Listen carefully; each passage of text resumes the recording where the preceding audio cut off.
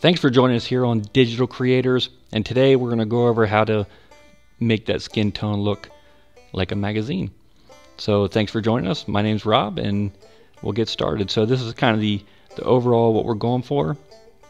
I'm not going to go over the eyes or adding uh, lip, uh, coloring the lips or anything, or even the glasses. This is all post of the photo, but uh, today we're just going to kind of go over the skin. So that's kind of what we're looking at. Let me close that. I'm going to open up the original. So I'm just going to open it directly into Pixelmator. If you have it open, you can open, uh, click up here to File, Open, whatever. And if none of these windows are are open, as I said in my previous tutorials, just go to View and show or hide the ones that you, you need. So the first thing I do is copy paste and I'm going to use my lovely wife and her mother-in-law as my guinea pigs and they'll probably kill me if they ever saw this so don't tell them so I always make a duplicate copy and hide it uh, for backup just in case I mess up. And, and originally I love this picture. Uh, before I get started a quick tip. If your screen gets blocked by your windows an easy fix for it pinch and zoom your photo down to about the size you want. And if you double click on that top bar right up here, it'll shrink the your window down to the canvas size, which is very helpful. So go back on our main layer here. What we're going to do is take the original layer and copy and paste it. Nope, scratch that. Let's delete that. I missed a step. What I usually like to do first, oh yeah, she's going to kill me. Don't let her know I used her photo. Is I'll use the healing tool or repair tool as they call it and fix up any you know obvious blemishes first. And Pixelmator ha has a great uh, repair tool. It's magnificent. If you haven't used it, it's really a great tool. And I need to go down to my brushes here and shrink this a little bit.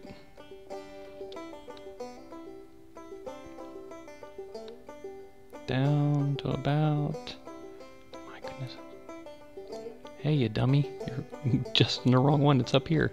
You know, sometimes they put the adjustment size for the, the tool up there, and sometimes it's on the brushes. I, they should just leave it on the brushes. So, I usually just hit whatever catches my eye whatever catches my eye. So we'll get rid of those. Uh, Control Z, I don't like that because the brush was actually too big, so it made it look a little wrong. That's a little better. Take this one under her eye right here and make it disappear. Mm, don't like it. And it's a great, great thing, you know, you can just cut and paste and redo as much as you want. I could probably get away with that, and you'll kind of see why here in a second. Uh, let's get rid of that one. And you don't have to do all of them, and, and you may not even have to do this. I just do it to the obvious ones because it makes the, the final product look a little cleaner. Whatever catches my eye.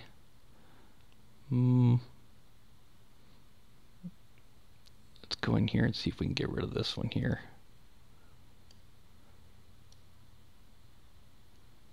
Can I do it? Can I? Oh, it's probably not quite.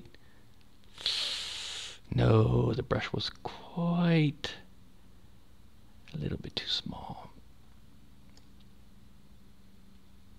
Don't like that. Let's try that one more time. You know, sometimes it's actually easier just to dot it, maybe. Maybe. Maybe. You know what? We're going to leave that there. We're going to leave it because we'll be able to get rid of that. Uh, this one. I'm talking all this trash about the heal repair tool. It really is a great feature. I'm just not using it the best. And get rid of that rid of that. This one's going to be a little bit, oh, no, that's just, mark. Some of these are so minute they're probably not even worth getting rid of. But it's a good demonstration of the of the tool itself. So, all right. Once you have most of them taken care of, you can. Uh, yeah, I don't see any more. Now I'll duplicate it. Copy paste. I'm going to go to the second layer, hide the first layer so I can see this how much effect I'm doing the, on this on the second layer, and grab the blur. It's a Gaussian blur. I don't know how you say it. Drop it on there and blur the crapper out of it like that. Bam.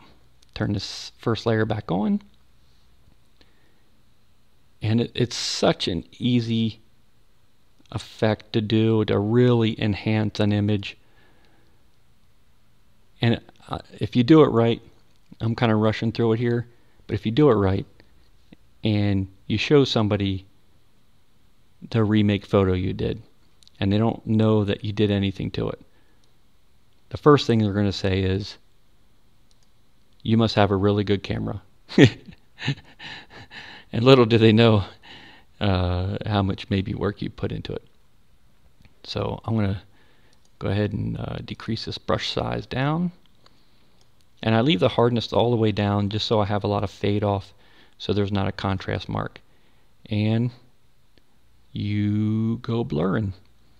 So basically all I'm doing, if I hide this, you're going to see that I'm just erasing. Uh, and I have the opacity up here turned down pretty low. That way I can control the, the blend of it a little bit. Is I'm just going to start erasing portions of this. Just like this. And you want to avoid the mouth, obviously, because if the mouth is, if you blur the skin, it's going to look soft and smooth. But if you blur the eyes, then it's just going to look like a blurry image. And that's what you don't want. So I'm going to have to decrease the, the brush size here to get in here. I'm going to turn this layer back on because I usually do that anyway. So I can see what kind of effect I'm doing. And shrink the brush size down to about here. Get all this.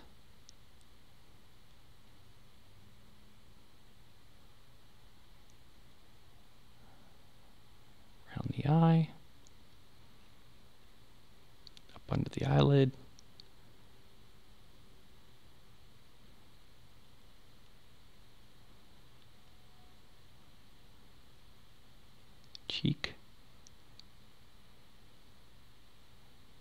See, I overextended a little bit here and it's catching some of the, the blur edging. So you don't want to you don't want to go too far with it. And you don't want to you want it to look natural, of course. And I'm kind of rushing through it here. Let me increase the brush size for this.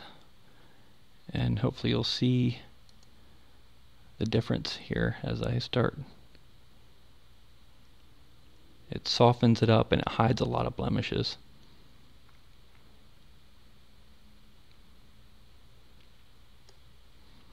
Go down here to the cheeks.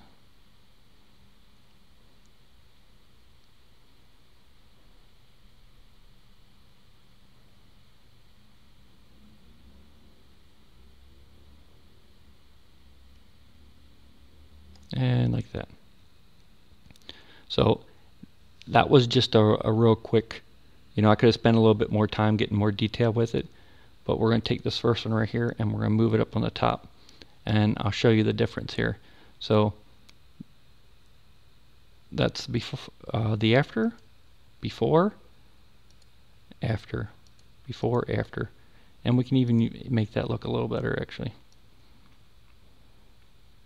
get the cheeks a little bit more. See, it's now it's getting to the point to where it's really making it smooth. But if you go overboard, then it's going to look too obvious and unnatural.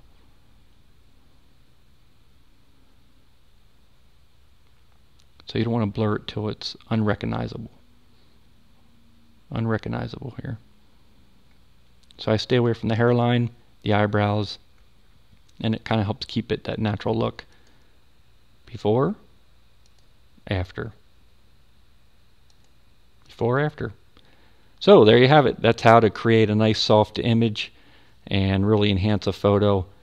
And like I said, you can even take it further, uh, change the color of the eyes, add some uh, tone to the lips, and when in doubt, uh, if you're really not happy with it, you can always make it black and white, add a vignette, and poof, instant good image. so thanks for joining us here on Digital Creators. I hope you have fun uh, playing with your image and let me know how it turns out. Leave a comment, like, subscribe, and if you create something, share it. I'd, I'd love to see it. Thanks for watching. Robert out.